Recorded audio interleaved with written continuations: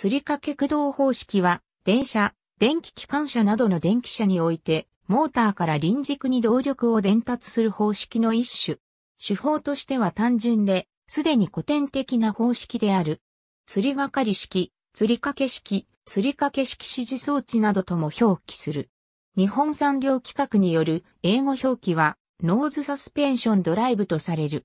日本では、電車の駆動方式としては、カルダン駆動方式にとって変わられ、現存例は多くない。しかし、電車であってもナローゲージや路面電車の大半にはまだ多くで採用されており、また大型の主電動機を装備する電気機関車や電気式ディーゼル機関車の駆動方式としては21世紀現在でも広く使われている。ノーズサスペンション方式の吊り掛け駆動方式を上から見たモデル図。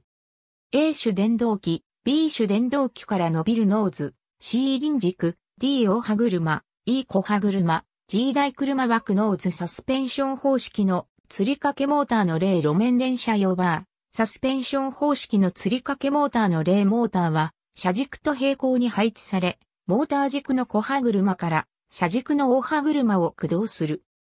この時陽動する台車の中で、どのようにモーターを配置すれば、双方のギアの噛み合わせが変わらないで済むかという問題があるが、モーター自体を輪軸を中心とする演習上で動くように、すなわち、モーター軸と輪軸の距離を一定にするように設置するのが本方式のポイントである。モーター本体の輪軸側の部分はアクスルメタルと呼ばれる金属、または転がり、軸受けを介して輪軸に取り付け、モーター本体の輪軸と反対側の部分はノーズ、またはバーが設けられており、台車枠の横梁に支持する形で取り付けられる。モーターは輪軸との位置関係がアクスルメタル、または転がり、軸受けにより円周上を動くだけなので、相対的な距離は一定であり、モーターの小歯車と輪軸の大歯車は常時噛み合いの状態になる。台車枠の雨量部分の取り付け支持方式にはノーズサスペンション方式とバーサスペンション方式の2種類がある。ノーズサスペンション方式とは、モーターの片端に設けられた突起を台車枠の横梁に固定する方式である。台車枠とノーズの間には、バネや防振ゴムを挟み、輪軸の変位に対応する。大型の鉄道車両に多く用いられている。バーサスペンション方式は、モーターの片端に棒状の部品を付け、このバーを台車枠の横張りに固定する方式である。台車枠とバーの間にはバネを挟む。軸距の短い台車の場合に有利である。主に路面電車、軽便鉄道で多く用いられたほか、江ノ島電鉄、箱根登山鉄道など、比較的小型な車両を使う鉄道で使用されたが、大型電車では少数派である。どちらの方式でも、モーターは、輪軸と台車枠の間に橋渡しされた状態、すなわち輪軸と台車枠に吊りかけられた形になる。吊りかけの呼称は、ここから来ている。これらの問題点は近年改善が進んでいる。輪軸架装ベアリングにおいては、アクスルメタルによる滑り軸受けに代わって、ローラーベアリングによる転がり軸受けが導入されるようになり、アクスルメタルやノーズがゴム緩衝されたり、歯車においても材質、焼き入れ、歯の形や角度、バックラッシュの最適化等が試されている。この結果、摩耗、消耗、騒音の抑制が図られるようになっているが、バネした重量が大きくなる構造という根本的な制約を克服するまでには至っていない。ただし、日本とは異なり許容軸重の大きなヨーロッパ諸国や南アフリカなどでは、バネした質量の増加に対して線路に余裕がありこのことが欠点とはならない場合もある。アクスルローラー方式の場合では、歯車中心間距離も正しく保たれ、しかも円錐頃軸受けを用いれば、スラスト荷重も負担できることから歯車に噛み合い率の良いヘリカルニアを用いることができるため、騒音などは日本の吊り掛け式とは全くイメージの異なる洗練されたものとなっている。エジソン研究所出身のアメリカ人発明家、フランク・ジュリアン・スプレーグが1880年にトロリーポールを考案後、それまでは車体床上に電動機を置きベルとかチェーン駆動が主流だった動力伝達手段に代わって1885年に考案し、1888年にこれらを組み合わせた路面電車をバージニア州リッチモンドで運転開始したのが最初。このため、スプレーグ方式と呼ばれることもある。簡潔なシステムで当時においては信頼性が高かったことから短期間で世界中に普及したが、発祥国のアメリカでは1930年代に世界の先陣を切って PCC カー等の高性能電車が開発されたことに加え、1940から1950年代にニューヨーク等の地下鉄電車を除いて高速電車そのものが衰退し、一般の営業路線にはほとんど残っていない。ただし、アメリカ国内では電車の動態保存を行っている博物館が複数存在するため、乗車機会は残されている。また、ニューオーリンズ市内では釣り掛け駆動方式のブリル車製、旧型路面電車が営業運転を続けている。だが21世紀初頭においても、ヨーロッパを中心に電車の駆動方式の主流を釣り掛け駆動方式が担う国が多く存在する。代表例としては、イギリス、オランダ、ベルギー、デンマーク、オーストリア等で、主に都市近郊電車を中心として存在している。このほか、日本同様の 1067mm 機関で、規格も禁じする台湾でも、特急、自強号用電車を筆頭に、釣り掛け駆動方式電車が多数在籍する。ただし、1980から1990年代前半くらいまで、釣り掛け駆動方式を採用したケースもあるこれらの諸国でも新車は VVVF インバータ制御へのシフトとともに駆動方式も改められており、同方式が過去のものになりつつあることに変わりはない。また、中には台湾鉄路管理局 EMU500 型電車のような VVVF インバータ制御と釣り掛け駆動方式を併用した車両も存在する。ドイツでは電気機関車、電車ともに中空軸下等吊り掛け駆動方式が主流である。1890年には早くも吊り掛け駆動のスプレーグ式路面電車が日本に持ち込まれ、東京、上野公園で行われた第二海内国官業、博覧会に出品されている。1895年に登場した日本初の電車もこの方式であり、以後電車、電気機関車におけるほとんど唯一の駆動方式として広く普及する。当初は釣り掛け、式モーターはアメリカやイギリスからの輸入に頼っていたが、第一次世界大戦による輸入途絶を機に1917年以降国産化が進められ、1920年代中期にはライセンス生産ではあるが、ほぼ国産化に成功する。1927年には電車用 150kW 型、1928年には電気機関車用 225kW 型を国産開発するに至る。しかし、釣り掛け駆動方式は前述のような欠点から電車の性能向上の制約にもなった。電車分野での衰退1930年代以降、高速化に有利なバネした重量の軽減に早くから積極的であった欧米の電気車ではカルダン駆動方式が実用化され、1950年代以降は日本の電車にも導入されるようになった。特に輸送力増強を迫られた大手私鉄がその対策として速攻性のある電車の性能向上に取り組んだことが日本でのカルダン駆動方式の普及につながっている。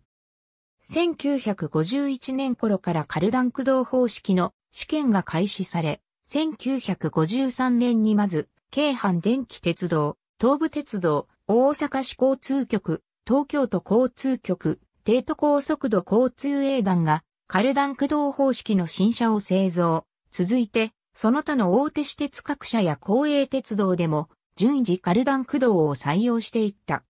また国鉄も長距離優等列車に電車を利用する、検知から1958年以降は、高速走行性能や乗り心地、騒音を改善できるカルダン駆動方式の新性能電車にシフトした。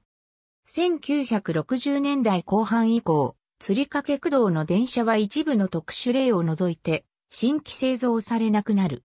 その後も一部施設が構造の簡便さや特殊な規格に起因する仮想スペースの都合から採用を続けた例はあるが、これらも1980年代にはカルダン駆動に移行し、現在では釣り掛け式を新規採用する鉄道会社は皆無となった。江ノ電1201号車のバーサスペンション式釣り掛け台車である。バーとはいえ、強度を持たせるために、鉄棒でなく、鉄板を縦方向にし、電動機を喧嘩している。車体更新車休憩電車において、走り装置は比較的頑丈に設計、製造されており、車体に比べると寿命が長い。古くからコストダウンのためにこれらの走行装置を流用し車体を申請した車体更新車が製造されてきた。釣り掛け駆動の休憩車から走行装置を流用した車体更新車は1970年代以降も一部の私鉄が製造を続けており、1980年代以降に至っても東武鉄道や名古屋鉄道等で製造された例がある。路面電車路面電車は高速走行を必要とせず、構造簡便で、かつ臨軸外側に主電動機を吊りかけることで、台車軸強極限まで短縮できることから、後年まで吊りかけ式が多く採用された。現在の日本の路面電車事業者の多くは、経営基盤が脆弱で、新車投入に際してもコストを抑制する必要があったことから、近年に至っても、車両新造の際に旧式な吊りかけ駆動車から、機器流用する車体更新車が主力を占めていた。そのため、軽快電車系の近代的な車体でありながら、釣り掛け駆動の動力を持った車体更新車が主力を占めている路線も少なくない。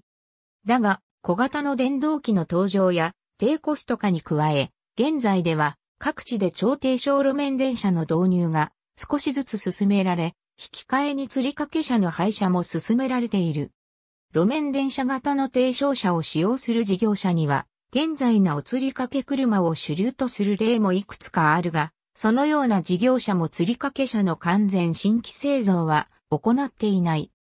機関車一方、日本の電気機関車や電気式ディーゼル機関車では、21世紀の現在に至るまで釣りかけ式が主流の駆動方式である。大出力が必要な機関車の場合には、搭載するモーターが大型化し大出力となるため、それによる駆動力を臨軸に伝達するには、仕組みの単純な吊り掛け駆動方式の方が耐久性や信頼性が高いと判断されたためである。国鉄及び JR 貨物の場合には、1950から60年代にかけてクイル式に切り替える動きもあったが、不成績に終わり吊り掛け式に先祖返りした経緯がある。その後は技術的な事情で EF66 系、EF80 系、EF30 系、EF200 型がそれぞれ別の駆動方式を採用したものの、狂気鉄道において大出力モーターを使用する場合には、単純な構造の吊り掛け式に1日の長があり、現在でも広く用いられている。AB 川辺健一、超使い鉄道車両を知り尽くす学習研究者、2007年29ページ。ISBN 978から4から05から40万3569から0。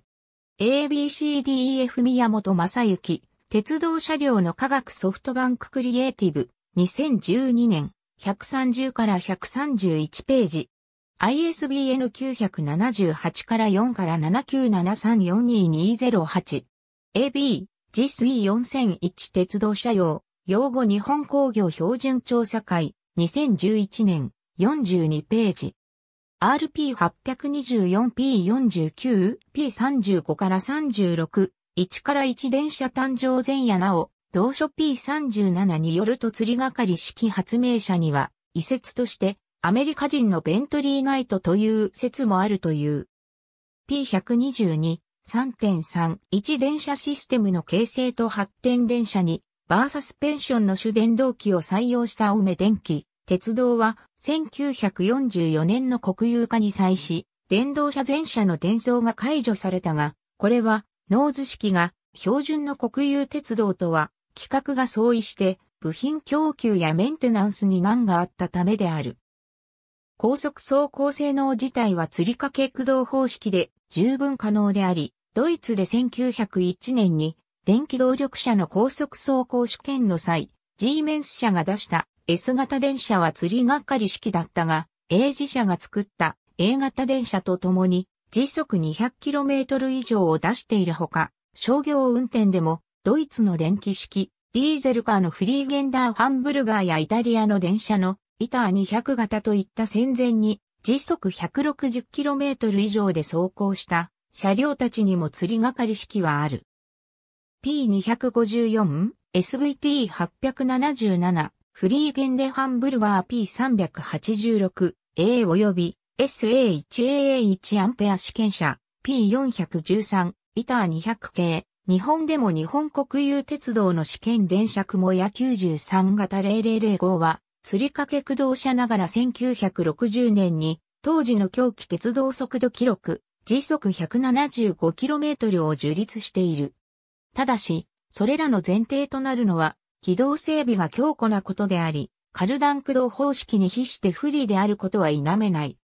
雲屋93での速度試験に際して、東海道本線の試験区間では、PC 枕木採用など、後に新幹線にも使用された技術による高規格改良を施していた。モーター本体と輪軸の間の修道部分には、常時重油と定期メンテナンスが必要となる。モーターのコイルが大型化して、モーター自体が大型となり、重量が増加する。遠州鉄道、江ノ島電鉄、近鉄特殊狂気線、下津井電鉄や各地の路面電車など、ありがとうございます。